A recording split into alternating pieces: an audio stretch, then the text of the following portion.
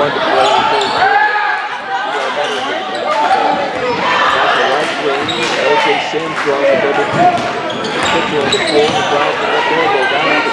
Dishes to Sims.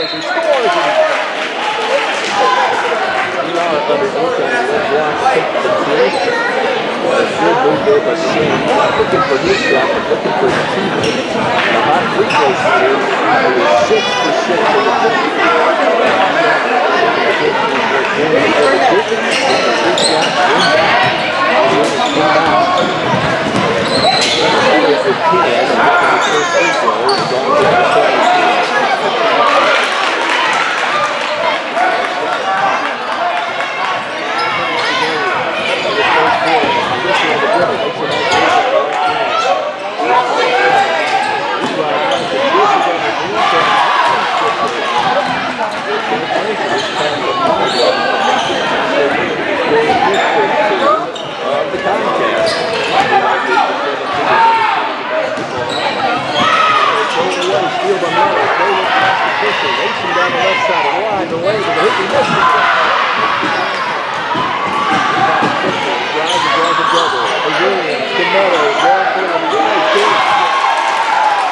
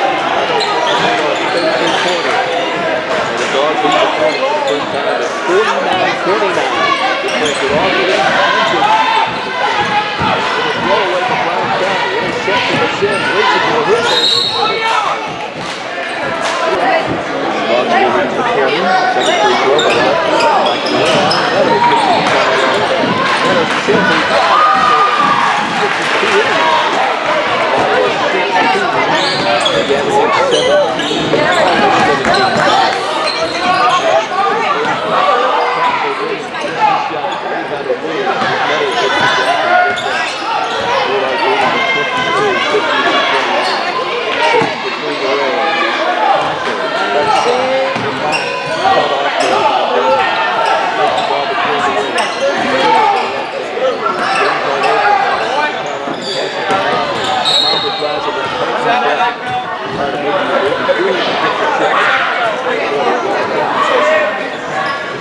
common sign.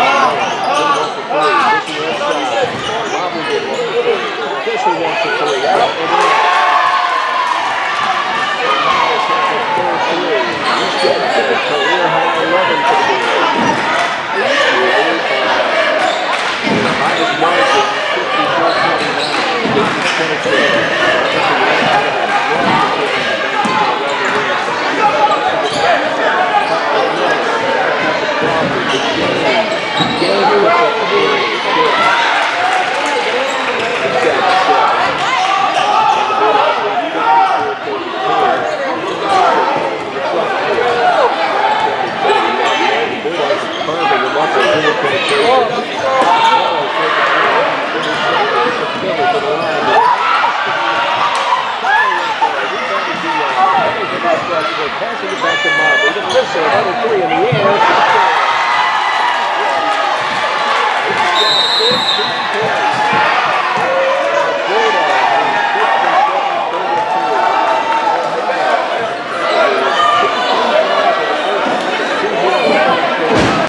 Rebound to Ashley, now to Sims. Sims across the stripe, dribbling right wing, throws it away. Steal by Johnson, one on two, had the ball knocked free, picked up by Jones for the Dogs. Here comes Scott, right wing, driving to the hoop, throws it up, and it's good, and he's fouled. Marquis Scott driving hard to the hoop, hit the deck, got the bucket, and will shoot for the three-point play. His third point of the night, seeking four. The Dogs lead 68-36 as Tyreke Butler will replace Jaquel Boyd. And Coach Sims was very pleased with his play on Tuesday night, coming in off the bench against Jeff Davis, and it looked like he was happy as Jaquel hit the bench again. He hustled and scored four points in the game. And speaking of four, Scott hits the second free throw, and he has four. His individual. Free shot won't go. Dogs get the rebound. Sims between the rings, dribbling the ball. Two minutes and 44 seconds to go with the Dogs up big. Nice pass to Sims, and he scores his first two for the Bulldogs, at least for the varsity team. He's a transfer from Tift County with his father, Coach Sims, and his brother LJ. Trying to hold an opponent to 40. They started off the season holding both East and West Laurens to under 40. There's a nice pass to Jones, and he scores. Drakari was six points of the game. The feed, I think it was from Scott. Enough. Scott with the basketball, dribbling and driving, dishing left wing. Jones for three. It's good. So he has nine points off the bench. Rebound to Bryan County, 17 seconds to go.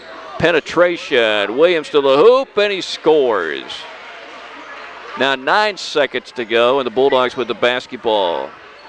Will they get off one more shot? Do they need another shot? They lead 76 40. They will not shoot it.